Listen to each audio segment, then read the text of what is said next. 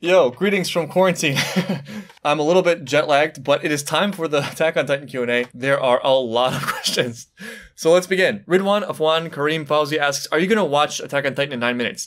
Yes, that should come as a bonus video very, very soon, hopefully this week. Array Kamasi asks, do you think Eren is truly acting of his own will? Do you think he's being controlled? So yes and no. Like, first of all, there's a problem with me attempting to answer this without having seen the rest of the show or reading the manga, right? Like, there's a lot that I, I still don't know in classic Attack on Titan fashion. And it's possible that Eren is not as in control of himself as he thinks he is. And we, we know that there are all these influences he has from people he's eaten, you know, like Grisha and people that Grisha ate, etc. That being said, you know, there's a parable for that in real life as well, which is that we are all sort of the result of things that came before us. We're not born into a vacuum as, you know, perfect perfectly craftable human beings. We come with a lot of baggage, and that baggage is our just our genetics. And then also the environment we grow up in and the messages we internalize from, you know, authority figures or people around us or from our community or whatever. As a young person, your goal primarily, the way we're wired, is just for survival. And what matters most for survival is fitting in harmoniously to our environment. And so anything that happens around us, any behavior we see, we're paying attention to that and we internalize it and we adapt our own behavior to best fit that that world. And when things go wrong, that creates fear and tension, and we alter our behavior to keep ourselves in line with what we feel is our own survival. And when things go well, we like double down on it. See Gabby, for example. And it's very difficult to get one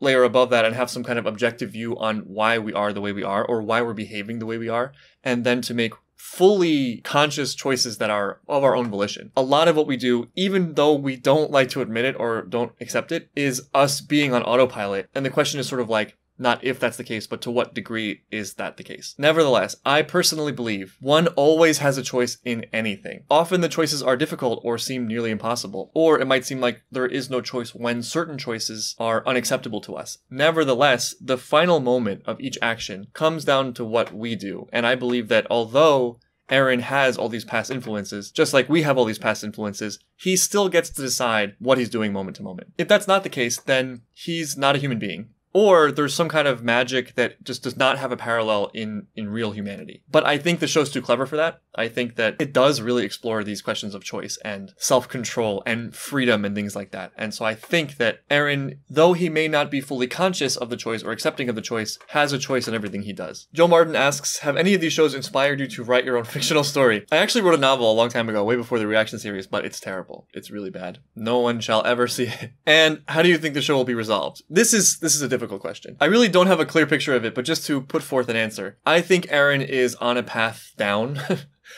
and he's going to keep going down and it's going to destroy him and i think that eventually the world or maybe certain individuals will rise up and put a stop to him realizing they've let it go too far right now i think the characters i'm rooting for most are characters who are hesitant because of actually good qualities. You know, they're really considerate and they're thinking about what would be the best thing and they don't want to make the wrong choice. And they don't want to be evil. But I think the farther Eren goes, the clearer of a choice that becomes for them. And he's definitely going. You know, like he's going going all the way down. So it's only a matter of time before he becomes the enemy of the world. So I don't think he makes it. I think he's on a similar trajectory to Light in Death Note, being a cautionary tale of someone who is not a bad kid, who had so much potential, who had so many great qualities, but was not able to harmonize those things with the world and lost control based on their powers. That being said, I feel like there's a potential for the show to end on a positive note, and I think this has sort of been previewed by definitely Erwin Smith, Sasha's father, and even Eren himself in conversations with Armin, you know, where they look to the little children and they see that things are bad, right? Things are, are terrible and you just do your best, but you hope that you honor the legacy of past generations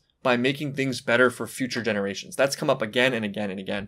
And so I think that that probably is going to be a part of the show. Like, it might end in a very bleak way, but there will be hope, you know? And that hope will come from the few the few heroic people who actually take the burdens onto their shoulders and do their best not to succumb to the, you know, the darkness that certainly everyone can see. And in fact, I think that would be a satisfying and good parable for life because let's not shy away from the darkness, right? Let's not shy away from the tragedy. That's that's a thing. 100% that's a thing and it's probably more of a thing than I'll ever understand, hopefully. But I think that it could be so much worse and the reason why it's not worse is because of the few people who refuse. You know, the few people who refuse to give into their most evil urges. Bizarrely, I find myself optimistic about the ending in certain ways. There will absolutely be tragedy in its way as well. But who knows? We'll see. Nick asks, how do you feel about season one and season two now in retrospect, having finished the later parts. I was thinking about this. I, season three and season four, they knocked it out of the ballpark. Like season three and four are just on a totally different level in my mind than seasons one, one and two. The earlier seasons are great. You know, they're a lot of fun. They don't have the complexity for me that the later seasons do. The later seasons are so rich. They're just so rich with like character stuff and tense philosophical drama. You know,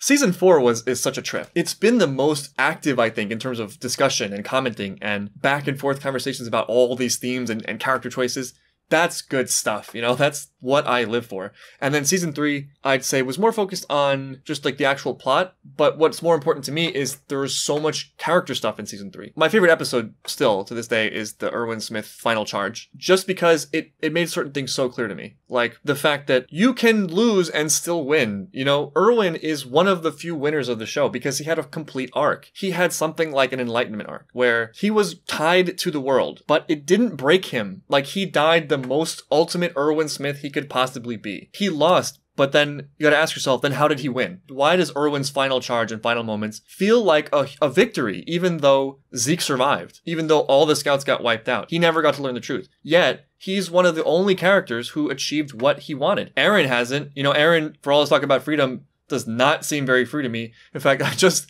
answer the question is he even in control? Because it, it, seems like he's not right? He's possessed. And then levi's interaction with erwin the cadets struggling with you know fighting their their peers reiner and bertholdt it's just a plus stuff. So season one and two are sort of like they kind of faded into into memory during season three and four. And specifically to your question about hanji she was one of the characters that grew the most in my mind from beginning to end I thought she was just sort of like this weird, quirky character, but by the end, I, I really adored her. And I think a major turning point for that was her hugging Mikasa during the difficult choice they made. Great stuff. And then, of course, her, you know, her dilemmas in season four. And what else do you think AOT has given you and made you think about aside from having this meta realization and looking at humanity under a deeper lens?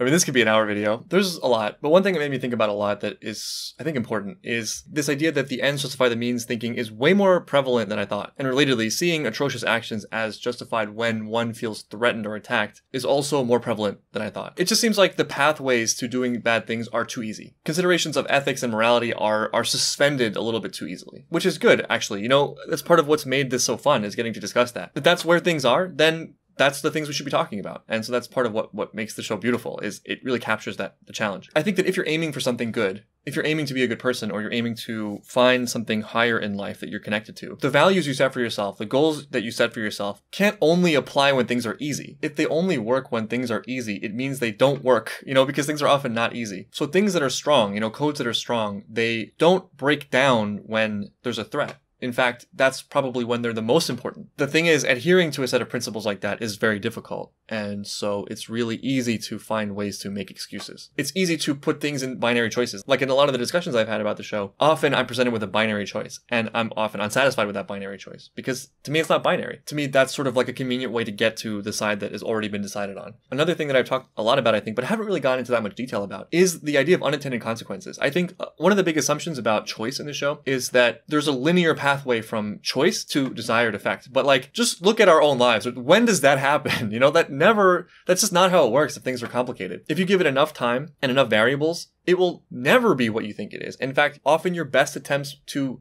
do something to grab at the immediate solution at the cost of other important things ends up harming you. Like almost always, at least in my experience. People want to talk about changing the world and all these grand things and here's how we fix this, here's how we, how we solve that problem. And they can't even manage the details, the own micro details of their own lives. You know what I'm saying? So how do we expect to have these linear pathways to paradise, you know, to this perfect situation through engineering large groups of people or through large military victories or whatever it is? And with that said, isn't it then less worthwhile to do terrible things towards those stated goals if we're not even sure those goals are going to come to be? And to make things even more complicated, even if you achieve that goal and get what you want, who knows what happens next, right? Like it could melt down in a worse way. So I think while it may sound like I'm being idealist, I actually think this is the most pragmatic solution is to be more nuanced in thought about ca- cause and effect and not to overestimate our own abilities to like dictate how the world goes. And there's a ton of precedent for this in history. You know, some of the greatest atrocities that have ever happened in in human history were not necessarily even done out of malice they were done out of like bad planning. It's great. I love any chance I get to sort of try to add nuance to thinking. And the show is very nuanced, while some of the characters maybe aren't.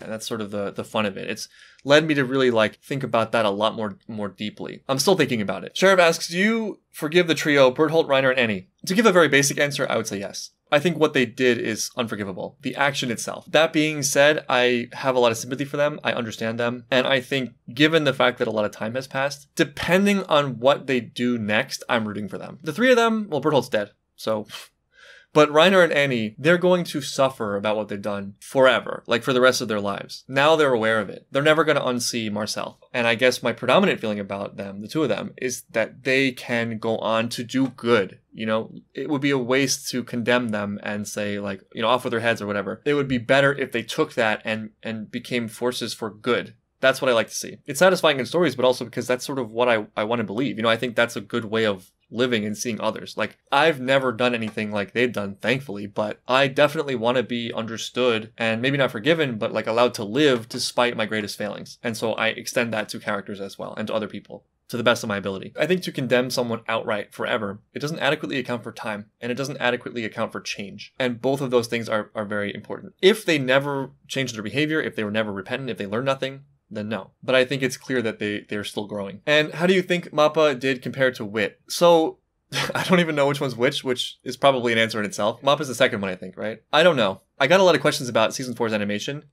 I thought it was great. I didn't think anything more or less of it. I don't really have the eye for detail about those things. So I think they both did a great job. Though if it gets into matters of storytelling, I think season 4 is so tight. I can imagine maybe if they had done the entire season, certain things would have been better, but really I don't have a strong feeling one way or the other. And what's your favorite season? It's so tough, you know? I think season 4 overall is more solid, but season 3 has my favorite moments, especially Erwin's final charge and Levi's attack and the difficult choice and the fight with Bertholdt and all this stuff. Those are sort of peak moments for me in my mind. But season four, it's like every episode delivered something interesting, thematically interesting. Sergio Fiallo asks, potatoes, meat, or melon? Pick one. Can I do marry, kiss, kill?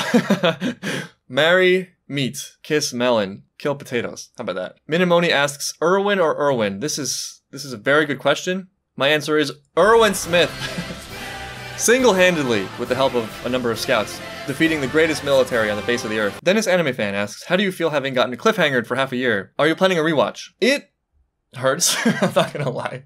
I got so spoiled having you know getting to watch episode after episode. But at least it's just half a year. I you know I've heard horror stories of in the past the gap between seasons being much longer. So count your blessings, I guess. I do definitely need to rewatch this show before part two comes out. And I've gotten some requests to do a rewatch of the show, but we'll have to see. We'll have to see. One way or the other, I'm watching it for sure because I know, even just given the limited amount of things I've gone back to see, how many details are, are sprinkled in. Peter Cologne asks, to what extent do a person's intentions matter? Should actions be judged separately from intention? So I think intention is very, very important. But I would also add to intention knowledge or anticipation of result. So like to start at the lowest point, right? The worst point, you have bad intentions and you know that there will be a bad result and then you commit the action. That's the worst. Slightly up from that is you have a good intention. You think this thing will end with good consequences, but you know it will have bad results and you do it. That to me is still wrong. Because you've done something wrong to get to a, a, supposed something good but the, the wrong is real and the supposed good is less real yet. Then i think where you start to enter like innocent category is you have good intentions and I have no clue about the fact that this is going to cause harm a very stupid example but one that i think illustrates it is imagine you're just walking down the street and you see a couch someone threw out on the on the street and you decide to take it home but you don't realize that it's actually not thrown out people are just transporting it you've just committed a theft but because you really believe that it was discarded and you didn't think anybody would be harmed by you taking it, something bad happened, right? There's a bad action there. But I don't think that necessarily re- reflects the person's character. Optimally, it's like you have good intentions and you don't do anything you know is wrong in order to get those int- intentions. I don't know how good of an answer that is. It's it's complicated. I know I'm going to think of a thousand other ways to answer this question later, but that's just my my crack at it. Keegan Brockage asks, let's say Armin is visited by the lion turtle. I like how it's Armin and is granted the ability to create a perfect, peaceful resolution. Do you think that would be a satisfying ending to the show? Not in this case, because I think that the question posed for a lot of the show is do you know who the real enemy is? And I think I'm, I'm growing increasingly convinced the answer is us. The enemy is us. And so it wouldn't be as satisfying, I think, for like one character to unilaterally make that decision for everyone. It worked better in Avatar because he's the avatar who whose job is to bring peace and balance to the world, and everyone sort of like confers him that responsibility. That's not the case in Attack on Titan. An alternative to that, maybe that's somewhere along those lines, but more satisfying to me, is that there are individuals that actually are are not guaranteed any way to make a perfect or peaceful resolution, but they do their best to that anyway. And you hope that that is the light in the darkness, so to speak, that makes it more possible for other people to be the same. That to me would be more satisfying, and also I think in line with the way the show's developed some of these ideas. Megan Teleber asks, "I would love to know your favorite character pair, romantic or platonic, favorite character trio, and saddest character's death." Okay, favorite character pair: Erwin Levi. 100% not romantic though. The two of them are just so so perfect together in, in just every way. That final conversation between them is something i will never never forget. Favorite romantic pair let's go with sasha nico the relationship we got after one of the characters was dead. Favorite character trio, hard not to go with Mikasa, Armin, Eren, just because there's so, so much that happens surrounding them. And saddest character's death for me, definitely the Marcel reveal. That one was a, a major gut punch. Khalid Stark asks, What do you think about Theo Magath? He grew on me a lot. You know, initially I sort of wrote him off as this minor character. Oh, he's whatever, just generic commander number two. But he actually has a lot of heart, like he cares about the kids, and he became kind of important, right? Like he's part of the the counterattack by the Warriors. Attack on Titan is very interesting in its ensemble cast because it does a great job developing all these characters. Like there's a huge cast, but it does it in a very subtle and understated way, and you have to kind of think about it to appreciate them. It's not all in your face. Even the principal characters are subtle and understated a lot of the time. It took me a while to realize that Levi was a softie. It's easy to make the mistake of looking at a character and seeing only the tropes that you expect, but Levi's a great example of someone who subverts expectations because he's such a badass, but also he's such a nice person and he suffers. You know, he suffers deeply. He just doesn't show it. Hannah asks, what is one aspect of the story you think will stick with you the longest and why? Erwin's final charge. Erwin sort of proved to me an idea that I, I had and, and maybe wanted to have, which is that you are only free and perfect when you are who you want to be and who you are, no matter what the circumstances are. Erwin, in his final episode, even if just for a moment, connected to like, I don't know what it was, something, something special, something above it, the beauty, the beauty of the world, where he was just acting as like the best Erwin. And it didn't matter. It didn't matter that he was facing death. It didn't matter that he never got what he what he wanted or what he said he wanted. The universe gave him all this crap, and through his entire life, he rose to the occasion, met it head on without flinching and without complaining. That was part of his arc too that I think is, is very subtly done. It shows you that in the past he was complaining and trying to get everyone else on his side through like oration. And eventually he was just like, I guess it's on me. And he he just got it together he became the leader of the scouts and then he just did his best day by day and like crushed it you know? And what did he get for that in return? Briefly some accolades i suppose which led to that really awkward erwin smile which is um, an aspect of the story that i would like to forget. But no what he got was he got himself. He got connection to something like divine purpose even though that might sound ridiculous. Even the terribleness of attack on titan couldn't break him and he died a hero so for me that is just endlessly inspiring and just huge. What more do you want to aspire to than Erwin Smith? And it's such a great contrast too in relation to other parts of the show where everyone's like, well, I had no choice, you know, like, what am I supposed to do? Everyone hates me. No, you don't complain. You don't make excuses. You just do your best. And if you die, you die. You know, that is strength. That's something no one can ever take away from you. No circumstance can ever take away from you. Your self respect and your choices, your decision to be who you want to be in every moment, in every situation, even if it kills you. And that's what makes you memorable. You know, that's what makes you something special. It's not the other things. It's not everyone trying to win a war and, you know, what's the best plan of attack. And no, it's, it's none of that. It's Erwin Smith being great. Khalid Stark asks top 10 or 5 characters. Oh no. Erwin Smith. Erwin Smith. Erwin. No, I'm kidding.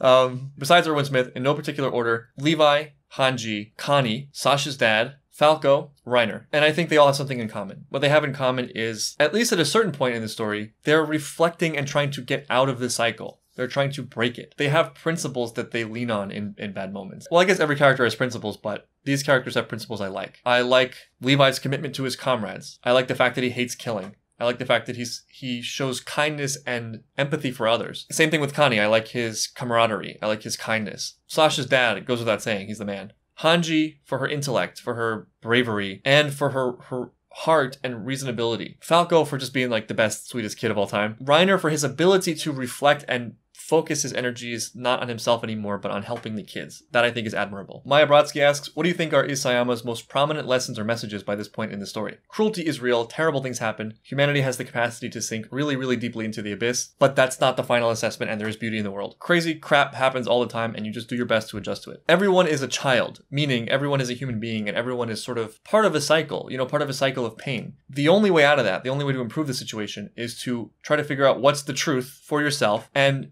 break the cycle. The more aware you are of where you are in that, the more aware you become of the fact that you're sort of just perpetuating the mistakes of others again and again and again. And by doing bad things, contributing to the negative experiences of others who in turn do bad things, etc., you can then halt that. You can decide to be the change you want to see, as they say. You know what would be an alternative question to this, which I also feel would be interesting, is what are the lessons that everyone seems to take away from the show that Isayama is not saying? So here are some things I see commonly said about themes of the show that I, I disagree with. Right or wrong is determined not by examination of the idea or action, but by your own perspective. If you believe something to be right, then you are right. Relatedly, there are no true heroes or villains. That's not it either. Or maybe more accurately, there are no heroic or villainous actions. I think there clearly are. Choice only exists when you're not under duress. If you're under duress or threatened, choice no longer is a thing. Life is all suffering, and anybody who believes otherwise is delusional. That's not the point either. That's part of it. What's so interesting about the show is I feel like there's so many misreadings of it, which plays into a point of the show, fascinatingly, which is that people will fall into binary categories or camps really quickly, often to match their own pre-existing feelings, often based on where they've been placed. Benjay asks, you've gone into this before, but why did the season 3 part 1 opening Red Swan hold such a steady place in your mind? I think that that opening so beautifully enhanced the entire season because the season is seeing people as human beings and reflecting on where they started and where they ended up. The beauty of the music, first of all, combined with the images of them as little kids, you're like, oh yeah, these are human beings, you know, which is obvious, but it really resonated with me in an emotional way. Like who they are now as adults is not a different category from who they are as as children. It's exactly the same. There's a clear line between those things. They're the same person. They're following the same railroad track, just like all of us are. And that ties into other themes of the show about cycles and actions. And who do you want to be in that cycle? How conscious are you of that cycle? How much can you rise above it? How much can you defy the odds you were given? The fact that everybody is flawed, everyone on some level can be understood or sympathized with, even people who've done the most horrible things. There was something so illuminating about it, and I feel like it, it just matched the season so well. Pierce asks, What do you think Erwin would think of Eren? I think Erwin would be doing his thing of like taking it one step at a time, you know, watching and waiting. I don't think he would overtly ally with Eren. I don't think he would lend himself to like the massacre that we saw. And I think he would be working on contingencies. I think he would be doing things behind the scenes to prepare for multiple possibilities. And he would just be hoping for the best, like always, gambling, as he put it. Eric M. Dearman asks thoughts on Berto Tozu. Yeah. Berto To. Sweet kid. Sweet kid. Sad. I felt so bad in the episode where he died because I'm I got too wrapped up in the choices. Again, like, you know, looking at only the, the binary choice in front of you, missing the, the other option. Bertholdt was just a tool for that whole thing. And I felt so bad not picking up on that and just saying, like, oh yeah, Bertholdt, you know, his death is an inevitability. Bertholdt might have deserved consideration in that. You know, he might have deserved the consideration of being the third choice, not that it wasn't already difficult. Burden asks, what are your thoughts on Eren's dream from the very first episode? I honestly I don't remember it because you know none of the things would have meant anything to me at that time. This is why I need to go back and rewatch the show. Camden asks, "What do you think would have changed or been different if Erwin was chosen for the Colossal Titan?" Man, I really w- wish I could have seen this just for just for the fun of it. All war ends. You know what? It's kind of tough because I feel like him being the colossal titan forces you to have a choice between him being the colossal titan or him being the commander, and so it's potentially a loss. It works for him as a threat. At least he doesn't have to worry about attempts on his own life as much anymore, or I guess he would, right? Maybe have to worry about it more. I guess for me, I don't really think it's him having been the colossal titan that would have made a big difference, but more like him just being alive that would have made the big difference. And that difference would have been probably just more decisive leadership and a better symbol. I think if Erwin still exists as a symbol, the scouts don't fall so quickly into like the Jaegerists. I think a lot of times movements like that are most effective when people are the most confused because everyone needs something to believe in. People feel good about giving their faith to someone. You kind of just hope that it's somebody good. And if it's not, people will go any number of ways and often they'll go towards the most confident sounding voice. The Jaegerists certainly provided that in, in season four. Katie Barnes asks, who do you think is going to die by the end of the show? I think Eren is, is a sure thing for death Although I haven't ruled out some kind of like cyclical thing, cycle thing happening. I think Levi dies, unfortunately, just because he's one of the few holdouts for trying to do what is right that is sort of sideless. And this is not the world for that. That's a liability in the time of Attack on Titan and all the different factioning and like the war and stuff like that. Michael Stollard asks, What are some things you don't want to happen at the end of AOT? I don't want Eren to do these terrible things and have like a happy ending. And I would hate that because not only would that make me wrong and I'd have to like make a big concession about how wrong I was, although that would never happen, but I just feel like it would cheapen the story a bit and it would run counter to a lot of the things I think stories have already correctly figured out about, you know, be careful going down the dark path in order to attain something that you want, even if you think that thing is justified. I also hope and expect that not everybody will give in to their worst elements. I think that there have to be beacons of light ultimately at the end. And what has your biggest takeaway been with the show? Bigger picture, it's a renewed focus on myself and who do I want to be, and what actions do I want to take that independent of circumstance, at least I know who I am and I know that that is value and I can respect myself for making the choices that I, I wanted to make, that I knew I should make, despite the temptations otherwise. And to focus on myself and what I'm doing and not to focus on other people and what they're not doing, you know, because I feel like there's an easy road to go down where I'm suddenly like judgmental of people for not feeling the same way I do, or becoming cynical about some of the views I see expressed about the world and cruelty and action and things like that. And instead, just try to understand and to see it as an opportunity both for myself to learn and then to have these conversations and approach it with the right spirit. And I think that right spirit is connected to a self spirit, self betterment, rather than you know trying to change the world, rather than trying to like convince people. It's it's more of just like staying open, staying fluid, staying humble, and practicing what I preach and being good without having expectations that others agree with me or do the same thing. It's trying to take the maximum amount of power for my life into myself and have the least of it be on circumstance and what other people are doing and just trust that that is my responsibility and that that will lead to good places. Aaron Ong asks, I'm curious about your opinions on Yelena. She terrifies me. Zealotry is not a thing I'm usually going to like. She is a great character, an intriguing character to represent that sort of side of like, I'll do whatever it takes. You know what I mean? So I, would say she's a great character, fascinating character, very fun character, but I wouldn't I wouldn't trust her more than I could throw her. Benjamin Mayhew asks, of all the theories you've had about the show, which ones do you still stand by? Well, I'm pretty sure I, I think it's been confirmed at this point that Mikasa is the female Titan, so I'm glad to have been right about that one. Then, you know, I threw out a lot of stuff early on. I was just, you know, grasping at straws kind of. One of them was like simulation theory. I was pretty convinced at one point, I think, that the, the island of Paradise didn't actually exist in the world, that it was in some weird like bubble or dome or simulation or something like that. But it turned out no, it's just an island and it's across, you know, across the sea from the mainland. I'm not totally convinced although you guys can let me know what you think about this, that the author wasn't leaving room for that it does seem that while a lot of things were, you know, preconceived and planned really well and executed early, there are some sort of larger things that maybe he was not clear on that took shape later. Although I could be wrong about that. That's right. I'm blaming the author for my own misunderstandings. Aaron asks, Do you think Eren was always destined to turn out a little crazy? Yeah, I think that's the major significance of that early scene, the Mikasa rescue scene. He had a little bit of that in him, right? The that like extreme drive, judgmentalness of him being able to decide and him putting people into into categories of let's call it deserving to breathe and not deserving to breathe. So that was there. I'm sort of holding out judgment on this because I feel like there there there might be something either cyclical about it or time time jump related because we know there's some weird time thing happening. So I don't know. Blood Mist asks who is best girl. I'll give it to Hanji actually. Who is best boy? Levi. Connie. Connie is best boy.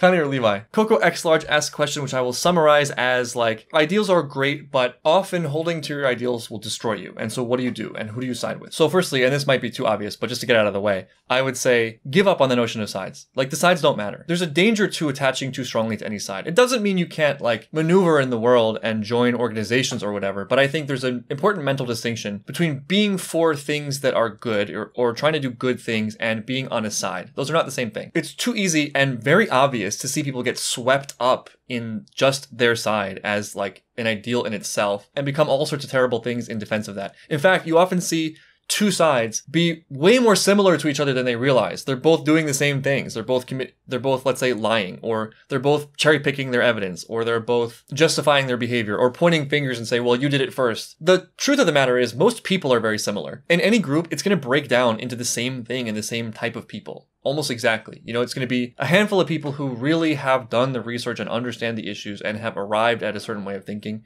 and really are doing their best, you know? Then you have people in the middle, let's say, who like don't really fully understand it at all. And they believe themselves to be doing good things and they have good intentions, but they're they're not fully understanding the complexity of the world and the issues. And then there are people at the bottom, which I would say is also a min- minority, of people who are just opportunists and are using the situation for their own personal advantage and don't give a crap about any of the issues. And every side will be the same. And so it's less about what side you're on, but which of those groups you're in. You know, who are you in that in that breakdown? And if you truly are someone at the top, then you are someone who's willing to move at, at the drop of a dime on new evidence, right? Because you're aligned to not the group, but to like a goal or to just goodness or whatever it is. And secondly, and maybe more importantly, I would say like, you're right. You know, like you can't control the course of history. You will get squashed if people decide to squash you. There's nothing you can do about that. And so you just have to surrender to that. That's just the way life is. And so you focus on what you can change, which is you focus on yourself. Like, how many of us are qualified to even know what's good for the world when we can't even run our own lives? Like I was saying earlier, you know, like who are any one of us to think that we are the ones? You know, we are the anointed ones who, if only people would listen to us, you know, if only people would understand our points of view, that everything would be different. Everyone feels that way. So that's clearly not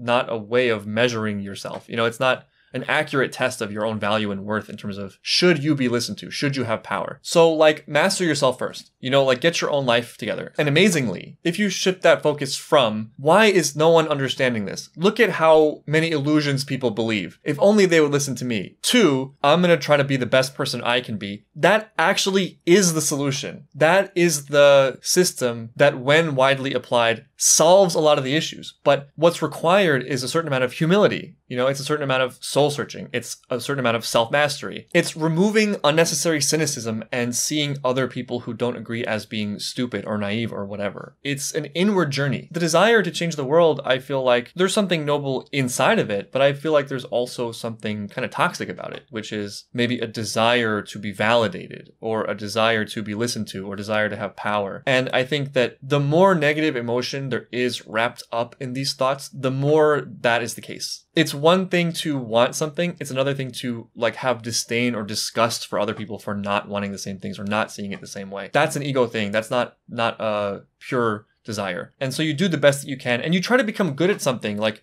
try to become good at at one thing locally that you are providing benefit to the world. Because if everyone did that then the world would be a much better place. So in summary i think that the solution is not to win against humanity or something like that but to shift the focus to what one has power over and that is oneself. And i think that that's not idealism you know? That is the challenge of life you know? It's it's something so important and it's something that only we can do, but at least it's something we can do. Let the world be what it is, and meanwhile, you know, you be a good person and you speak the truth and don't become hateful. Don't become overly cynical. Don't look to cause harm to others who don't agree with you. Be a virtuous person and live by example. And you just trust that that has ripple effects outwards. And maybe that's enough. You know, maybe that's what you have to do. That's the responsibility. That's the challenge. That's one's personal challenge. And I think once you see that, once you know that, it's a call to action. It's something that you can no longer ignore. And to some extent, you know, busying ourselves with like the arguments of the world is kind of missing the point to some extent. Not to say they're not important, but that is sort of an obvious front. And there's an important front that I don't see talked about as much, which is the personal front. Jackass asks, which character do you think will surprise us the most in the next season? I'm hoping Reiner. I'm hoping Reiner comes through and like does great things and like really helps the kids.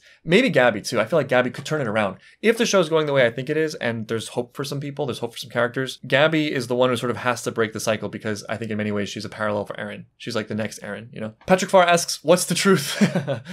I don't think we'll ever know, but maybe that's the point. You you never know the full truth. You never know the full effect of your actions. So you make the best choice you know how to make at any given moment, and you see what happens, and you just keep living that way. You just do your best. Nicholas Sabato asked me to rank Attack on Titan in terms of these things: aesthetic, art style, nine; character development and attachment, eight; Storyline in relation to running themes. If we're just going by the maximum, I give it a 10. Music, composition, and style, genre, 10. Joey Healy asks, do you think Mikasa will finally reveal herself as the female Titan? I mean, obviously. I mean, hasn't she already? Marcus Lawyer asks, have you ever read a comment that changed your opinion on something? I think what happens most of the time when I read comments, I mean, it happens every video, really, is it gives me just like a little bit more of a rounded understanding of things. I've definitely come to relate more to Eren's character over time after reading reading comments. I still maintain, you know, most of my ideas about like morality and not falling into ends justify the means, etc but the comments often help me have sympathy. A lot of times that happens when I have a very strong reaction to something. Comments will sometimes pull me back to a more, you know, reasonable position, which is good. I really appreciate that. Comments also have helped me appreciate characters that I might have missed otherwise, like Moblit. I don't think I really would have noticed him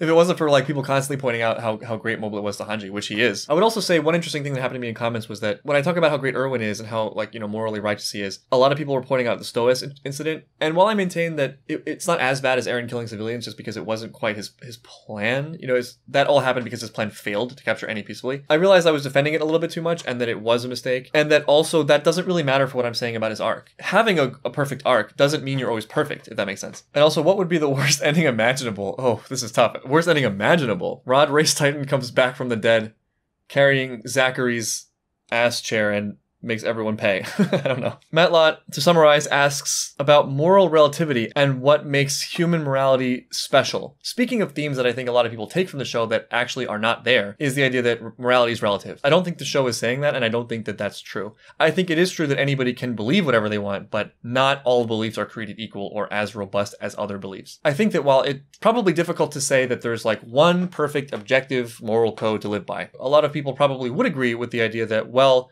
not all actions are created equally. Like there's shades, there are degrees, and even if you don't have a perfect morality, you have something like a, a, ranking or hierarchy of morality, and you can aim for the top. And to see morality as something totally abstract and random is to not understand humanity, I feel, and not understand nature. In fact, I think morality is probably very closely linked to survival, which is why we seem to have an intrinsic, intuitive, natural sense for it that we're almost born with. What makes it really complicated, though, is that there are multiple survival games happening at the same time. One is the individual, and one's own survival will make people do all sorts of things in the name of that in that survival, and can think about about it as moral in terms of their own survival. But there's also the survival of groups and the survival of societies and the survival of a species. Often, what is good for someone individually is terrible when widely applied and ends up having a destructive force on large groups. And because I think that very thing, that very conflict has been played out again and again over tens of thousands or maybe hundreds of thousands or millions of years, there are certain lessons that we've we've learned and have internalized about morality. So it can't be random and arbitrary. To think that any of our thoughts, you know, any of our actions are disconnected totally from society is to have a very strange idea of what human beings are. You know, human beings arose from a system, a system of rules for survival. And so some things just work better than others. Like what doesn't seem to work is indiscriminate killing, to take an extreme example. That seems to just destroy potential and also have devastating ripple effects out into time. And then to put an unnecessary spiritual tint to it, seeing it as connected in that way to the natural world means that we are vehicles of the universe. Because the universe seems to have a structure and some things seem to work and some things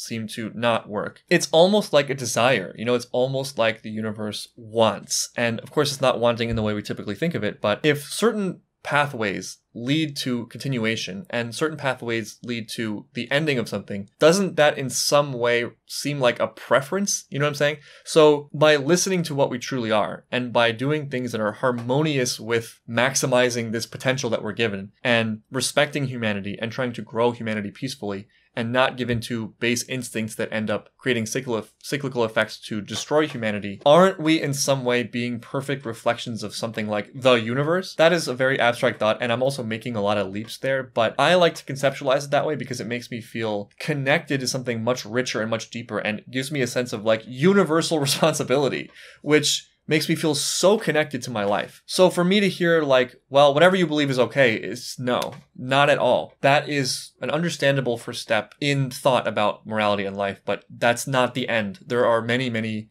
paths above that. So I'm sort of all over the place here, but what I'm trying to do is structure morality to something undeniable. You can argue about what that morality is, but I think it's different from saying that there is no morality or morality is only what you believe. For me, there's a humility lacking there seeing ourselves as like these creatures that were formed outside of the natural world. We're not that special, you know, we're, we're just a part of things. Mako's lawyer asks, do you feel compelled by Eren as a character while simultaneously disagreeing with him, or do you dislike him? So it's complicated. I definitely disagree with a lot of his actions, especially recent actions.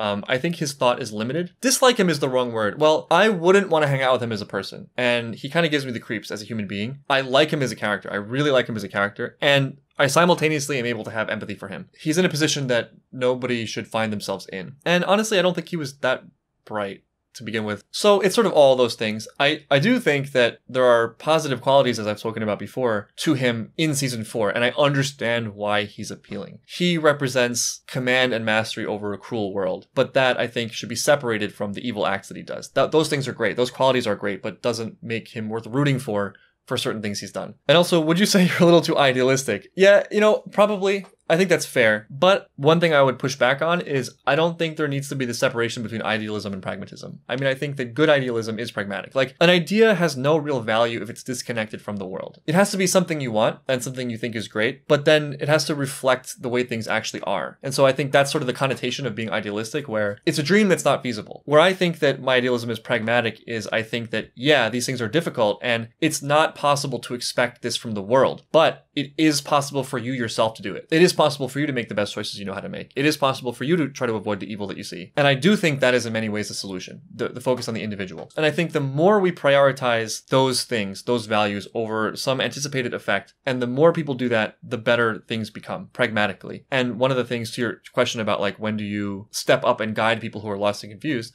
I think you just do your best to tell the truth. I don't think it works to see people as like pawns and tools to be manipulated. I think you do the Erwin approach where you just say what it is and you let people make their own choices. And a lot of times people surprise you. You know, the more I think about it, the more I experience and the more I do YouTube, the less cynical I become and the more I I understand the potential in people and that most people are actually good and well meaning and want to do the right thing. And so it's not a matter of like seeing these people as dumb or sheep or misguided. The goal is to find understanding. The goal is to express ideas kindly, you know, with warmth if you're really purely motivated. If you're not able to do that, you're not the one who should be leading. You know what I'm saying? John Carzales asked, Did you cry or were close to crying during Sasha's death scene? Not really, as far as I can remember, I think I did cry during Erwin's death scene because it was so amazing. I don't really cry um, sad tears that much. I cry happy tears. Like if you look at the Avatar reactions, I cried during the Iroh episode, which is just so beautiful. Although I guess that's sad. That's a sad scene. But I also cried during the Zuko Iroh reunion, which is a happy scene. That that gets me more. Like the expressions of pure beauty kind of get to my heart. Siege asks, what do you think about Armin's contribution this season? I was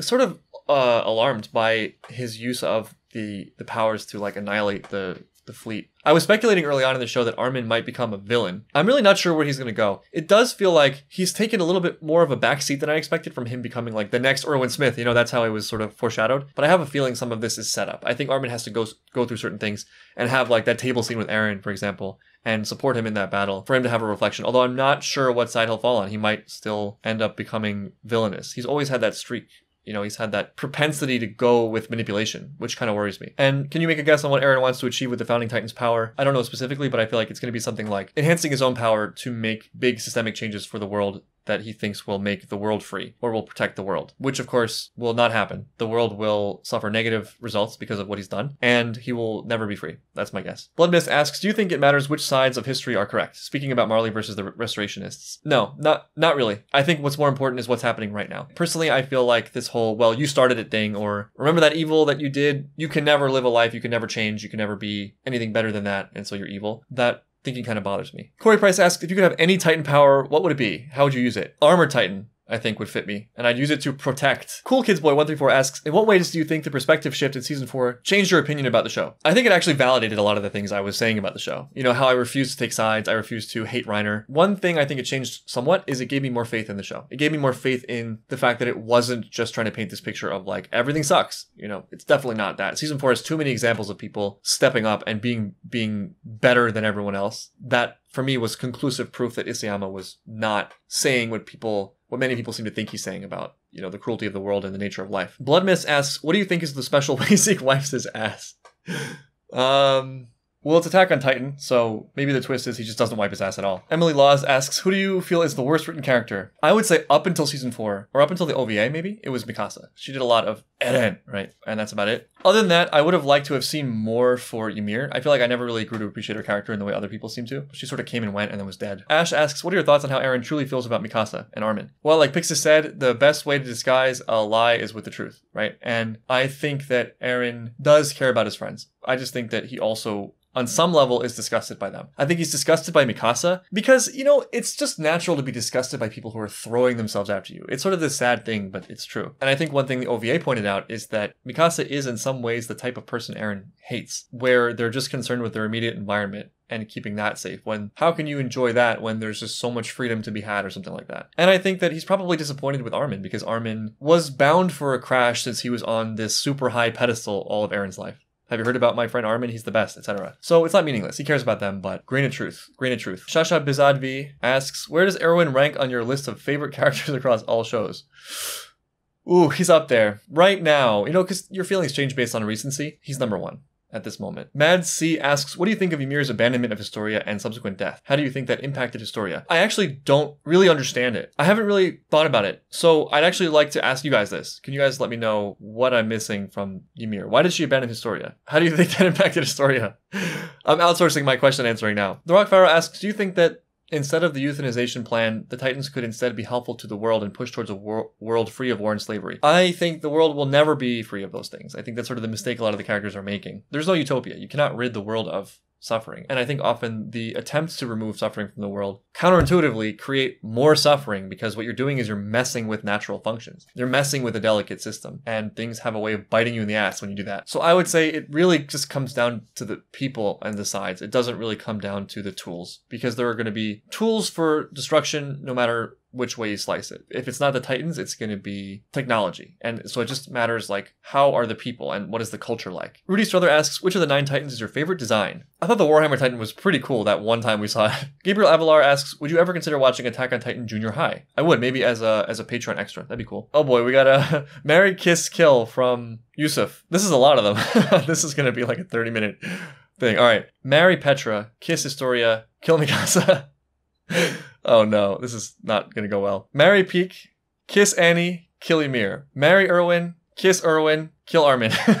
marry Bertholdt, kiss Reiner, kill Kenny. Kiss Sasha, marry Connie, kill John John. Kill Eren, kill Floch, kill Zeke. Thank you for understanding me and actually putting a description for who, who Moblit is. I appreciate that, even though I know who he is. Marry Marco, kiss Moblit, kill Marlo. Marry Magath, kiss Galliard, kill Willie Tybur. Kill Rod Reiss, kill Major Gross, kill Darius Zackley. Marry Niccolo for the cooking, kiss Onyankopon, kill Yelena. finally, marry Pixis. Oh, this is not not great. Kiss Shadis, kill Magath. I don't know. That was a tough one. That was the hardest hitting question so far. You couldn't have given me more more girls on this. Oh well. Gekshin asks, what would be your plan to save the Eldians? It wouldn't be all that different, honestly, but I think there's just certain lines I wouldn't cross. Like, it's not that I'm a pacifist and don't believe in fighting, but I think you fight to defend yourself. I sort of am disgusted by the idea of preemptive war, and I just don't think that that works. I think it just emboldens the people that you attack. So you fight. You know, you defend yourself. You don't want to be weak. You don't want to let evil destroy the good, but you don't become the evil in the process. So yeah, I would fight them too. I would definitely fight back but I would just be very careful what that looks like. Clement asks, the greatest leader Erwin Smith or the almighty and shiny Alex Louis Armstrong? Speaking of Marry Kiss Kill, that was a missed opportunity for like, you know, cross series things. Joseph Hilson asks, who do you think is the true good guy of the show? I think that the characters who are, let's say, heroic or do heroic things are the ones who maintain their their beauty, you know, maintain their virtues despite all the terrible things they experience. Bubble Tea asks, "What are your thoughts on the different ships?" Eren Mikasa doesn't really do it for me. Eren Historia, I feel like there's something there. There's something there.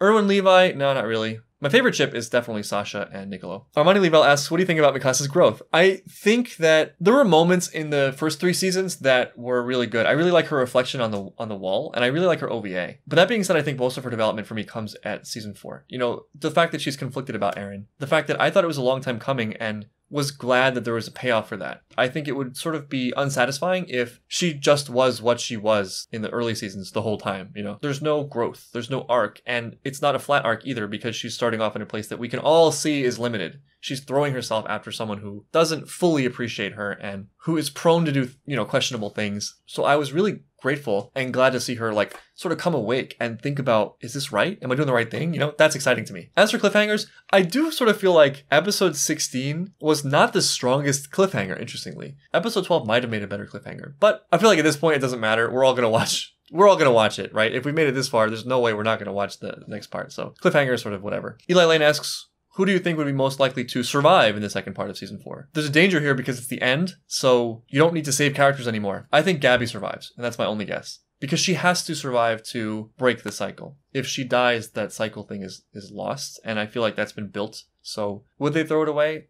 Maybe that would be very um very shocking. Avertree asks, "What do you think Falco and Gabi's contribution to the plot might be from here?" This is a total guess, but as I mentioned, I think that Gabi is a reflection of the cycle, and she's the next iteration of the cycle, and so I think she has to break the cycle or be sacrificed and the cycle continues or something like that. Just spitballing here, but Falco dying would be the final straw for Gabby if there was one because he's the one person she seems to really care about, and so if he died that would potentially set her off and that would create a choice. And I think that what she could do from there is perpetuate the cycle or break the cycle. My hope would be that she breaks it. But I don't know. I mean, really, could go any any number of ways with them. And also, what questions do you think need to be addressed, and what confrontations need to occur in order for things to be wrapped up in a satisfactory way? So I think Reiner and Eren definitely have to have their battle, which maybe in some ways can be looked at as like two battles for people because i think Eren is doing what he's doing for for other people in his head but both of them having different reasons for doing that or different motivations like Reiner seems to just want to stop the kids from having to experience this, right? Just save the people that I love in front of me. And Eren seems to be more like destroy the people that are a threat so that people I love can live peacefully. And so that's an interesting clash there. Mikasa has to make a choice. I think that's happening. Gabi has to make a choice. That's happening. A lot of choices must be made. Ultimately, I think, or maybe just hope,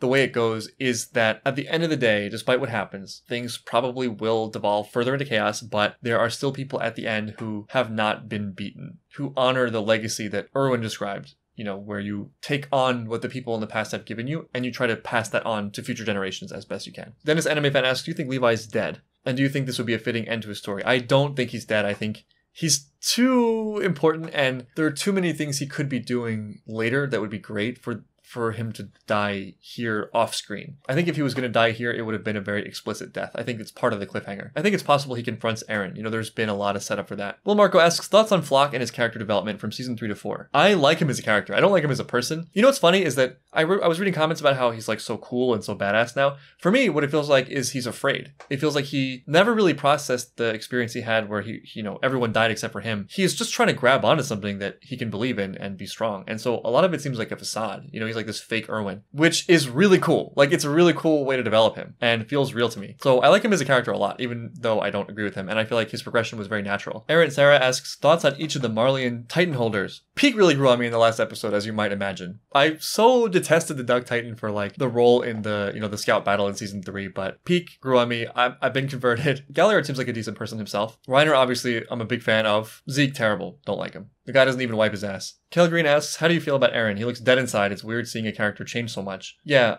Honestly, from the very beginning, I've been creeped out by Eren. There were moments where I really liked him, and I've rooted for him for most of the show, but it has felt like fighting an uphill battle with him because it's one step forward, two steps backwards a lot of the time. Or at least like one step forward, one step backwards, and he never really, really seems to have emerged from the depths of his like darkness and despair, even though he flirts with it. You know, he flirts with things that are better, like believing in friends and believing in the future and doing things one step at a time and being humble and not seeing yourself as special. By the end, he sort of leaned into all of those things.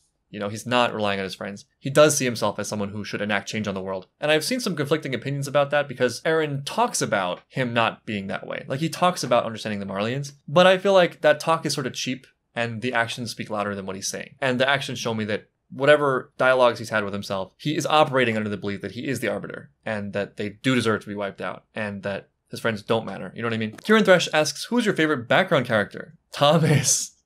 Remember Thomas, they were going to have a, a Titan killing contest, and that didn't work out very well, did it? I don't know if this counts, but I'll go with what the hell's her damn name? Marlo's girlfriend. She's cool. She has a lot of personality for someone with limited screen time. Shakira asks, "What's your favorite plot twist or re- revelation in the story so far?" The Reiner twist was was amazing. That was so good. It was so well done. I love how the camera's panning away and how he just so casually drops it. Billy Mons asks, "What are some of your favorite comparisons between the show so far and aspects, characters, and Full Metal Alchemist?" It's really great to think about these shows side by side because as I joked about, right? Like they both start sort of down here. They both start in the depths, and then Full Metal Alchemist rises out of it, and that's the point, right? The question is, how do you make good of your life despite tragedy, despite the potential for evil that humans have? And Attack on Titan also starts at a much lower point, I'd say, and then it keeps going down, and then it keeps going down. But to you know add a little epilogue on my joke, I think it's now rising out of it, and I think Full Metal Alchemist has the answer, which is part of what makes that show so satisfying. And that answer is you are not disconnected from the universe or the truth. You are an essential part of it. And that gives you a responsibility to act with a code of honor in accordance with the realities of the world, to sacrifice what you know or what you think you know to be good, you know, in, in the name of helping others, to have humility, to have understanding, to have compassion. That's what makes Edward Elric so special and his decision at the end so special. And that's contrasted with all these people trying to shape the world and remove evil from the world, right? Just like they're doing an Attack on Titan, which doesn't work. It makes things worse. But what Brotherhood gets so right is that, firstly, it sees everything as connected and as a part of a whole And you combat the tragedy through multiple things. One is through community and through taking care of the world that you you live in, you know, especially the people closest to you. You embody virtues even if the world expects you not to embody those virtues. Even under incredible duress and pressure, you still hold true to your virtues. And those virtues are hopefully in accordance with the truth, with the way things actually are. And you're willing to sacrifice. You're willing to sacrifice yourself. You're willing to sacrifice your beliefs. You know, you're willing to have the humility to not think you know everything. And through that embodiment and through the refusal of committing evil that you don't want to do, you end up creating ripple effects outwards. And it doesn't take that many people to make huge changes. And to me, that feels so right. You know, it's such a correct analysis, I think. So that remains to be seen in Attack on Titan, but I do think it's leading there. I think that there are these holdouts. There are these few holdouts that are struggling right now. They're struggling because they're good, but they're still fighting that fight. And I think that maybe on some very limited level, but on some level nonetheless, they're going to have a victory. Something good will come of it. It's been foreshadowed already by Erwin's death. The fact that Erwin died right after making that speech about honoring the legacy of the past and carrying things on for the future was his contribution, which then those characters are inspired by and are carrying forth. Puneeth Nukala asks, what do you think of the AOT community and were you spoiled by any chance? It's funny because I got all these warnings before starting about how like there would be all these spoilers and I know there were, but thankfully I was either able to sniff it out myself or people were really good about like writing spoiler, you know, in the comments. And because I read bottom up, I was able to avoid basically all spoilers. And in fact, I think I got more comments warning about spoilers than I got spoiler comments. Now, what I'd like to say is that that's not the AOT community, it's my community, which is awesome. It's literally the best ever. I have been able to have faith that things will work out, and they have. As for spoilers, people were like very quick to make fun of me for the Mikasa is the female Titan thing, but jokes on them because she is. And then I think um, one form of spoiler that I got was not an explicit spoiler. It wasn't like this happens at this time. It was more like I would say things, and a lot of people would say like, "Wow, this is such an accurate comment," and it wouldn't clue me in exactly to what was going to happen, but a lot of times it would put me on the right track. Like one thing that I think actually impacted me negatively is that when I first talked about Eren having some kind of darkness, it became clear to me from comments that like this is gonna come up again. Like his darkness is is a big thing, and I didn't know how much it would come up again or what it would look like, but sure enough, here we are in season four. Albert Words asks, "What are your thoughts on Niccolo?" I really love his role in facilitating that scene, that Gabi scene, he did a lot. I was sort of mad that he knocked out Falco, but he's an interesting character, you know, being this Marleyan captive who ends up understanding the Eldians or the people in Paradise, Paradise, sort of living in this in-between world, knowing about the wine, falling in love with Sasha. He's very, very complicated. Danielle1207 asks, do you think it was right to let Erwin rest when he was at the end of his arc or development? Yes. I think that there's something symbolically important about that. Thinking about things in terms of arcs and what they represent, he already had what I consider to be a perfect arc. He became the maximum Erwin, if that makes sense. There was really nothing left for him to do, and I would have been fine if he had survived and you know got the truth and all that because he's a cool character and you know in real life one arc ends and another one begins so there would have been plenty of things that he could have done anyway it would have been compelling as well but i think in terms of just what he had been so far up to that point and the question of like satisfying his father and finding the truth and leading the scouts and am i a villain am i a demon whatever all of that was answered so nicely that to me his death wasn't a tragedy. It was something to be celebrated. You know, he died as this perfect person. He died as like a realized character, a fully realized character. And that's something that most people never get. And surely characters in the show don't get. And also, most underrated character. Have I ever told you about Erwin Smith? No, kidding. Can you imagine if that was actually my answer. It is though. It is my answer. But I can't just answer Erwin for everything. So to give another answer, I'll say Connie. People sleep on Connie. He's a he's a good kid. Juan Pablo Perez Sanchez. How do you feel about season four Reiner and how that facial hair made him extremely popular on TikTok as a dilf? I mean, he's a good looking guy, not gonna lie. Red Wolves asks, How much are you looking forward to the second half of season four on a scale of 1 to 10? 11. I'm really sad that the show's ending, to be honest. And also, like, I always feel a little bit of anxiety when a series ends. It's like, is this the end of the channel? And it hasn't been so far, but you know, there's, always that thought. Archit Gosh asks, Armin has the highest kill count in Attack on Titan. He nuked countless innocent people. Why doesn't he get the hate and criticism that people give other characters like Reiner, Eren, Zeke? Isn't that hypocritical? I think you're onto something, honestly. I think that what Armin did is terrible and should be held accountable for that. I don't care that he did it in defense of Eren. I think one reason why people might give him a pass, especially compared to like Eren and Zeke, is because it's pretty clear to us that he didn't want to do it and that he regretted it. And that doesn't make the action any better, but it does at least suggest that there's a chance he can not do that in the future. I would say the same thing about Reiner. Like, the reason why I'm not harder on Reiner is because, firstly, what he did was way in the past in his childhood. But secondly, you can see that Reiner has changed. And I would not give that same courtesy to Eren and Zeke. Like, Eren and Zeke seem to just be continually double, doubling down on what they're doing. So that I think is an element that gives people hope for Armin and gives me some hope for Armin that yeah, what he did is up there with like really the worst stuff in the show. But looking at Armin, knowing Armin, you just hope that that was it. That from now on he uses his powers for good. Rinrei asks, Gabi and Hanji are my favorite characters. Am I valid? Yeah, of course you're valid. Like I feel anyone should be free to like any characters they want. Danielle twelve oh seven. Did the basement reveal every question there was, or is there still a question left that hasn't been answered? Who is the real enemy and why is it the birds? Piali Dasgupta asks, in your opinion, what makes Attack on Titan special than the others? Firstly, I'd say like in that in that exploration of the darkness of humanity versus the light of humanity, Attack on Titan goes further into the darkness than anything I've ever seen. And so it's no small feat that it, it's trying to build out of that now. So I really respect that. I think that's amazing. Then I think the design and the concept around the Titans themselves and the gear, the ODM gear, and some of the battles, it's it's so different and special and unique. Then the depths of moral gray that it goes into, I think sets it apart. And then I would say certain characters are are developed so masterfully and, and subtly and that's impressive despite the fact that there are so many characters. There's a negative to that too, though. Sometimes I feel like characters are not given enough time before they're killed off, and so it's sort of like, eh, there goes another one, you know? Isafe asks, would you rather eat food in front of Sasha or propose to Eren in front of Mikasa? I would never, under any circumstances, eat food in front of Sasha.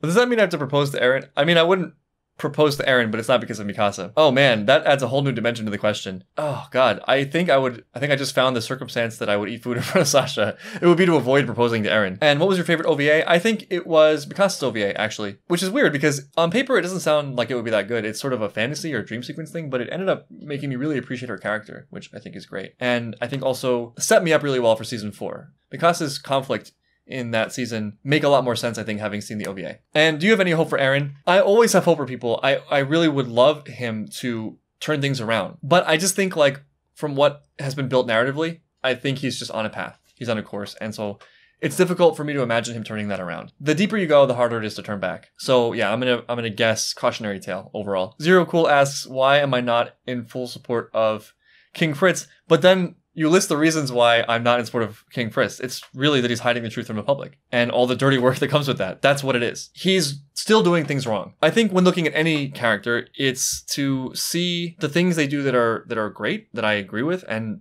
the things that are not so great that maybe I disagree with. And so it's not about like supporting any one or any side outright. It's just like, how do I feel about the individual things? And I think that King Fritz probably had a lot of things right. I think trying to avoid war is a good desire. I think manipulating an entire society of people through coercion and lies is wrong. I think enforcing these lies through killing, you know, killing people who learn the truth is terrible. So I can't support the person. I can't support King Fritz. Isafe asks your rankings of each season. Uh, it's so hard to like separate season three and season four for me. I'm still gonna put three as number one, then four, then two, then one. Crimson asks, Do you think AOT is worth the hype? Yes, but not initially. I really think it's season three and four that make it for me. Unknown asks, How do I feel about the problematic or fascist themes of the show? And then there's some information about like connections to actual fascist historical figures. I can only speak as somebody who, who doesn't know the facts of this and just has watched the show, and I don't think the show is supporting fascism. If anything, it seems to me to be a critique of fascism. The villainous elements seem to be the fascist elements. Maybe there's similarities there to historical figures, but just from my lens and and my priority. I'm not getting that out of it and I'm not taking that from it. And so it just sort of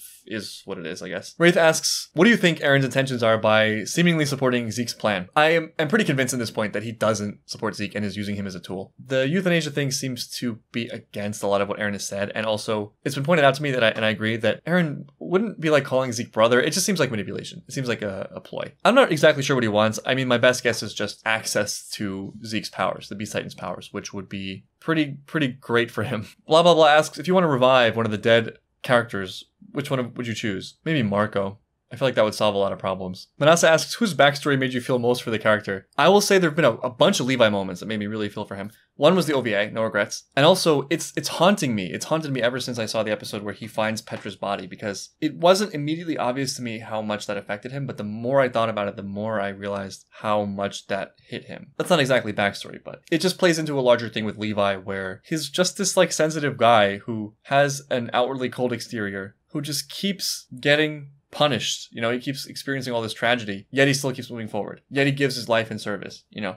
I don't know. I love that. Sora Monroe asks, did the questions you had unanswered from your first watch all those years ago get answered finally? Yeah.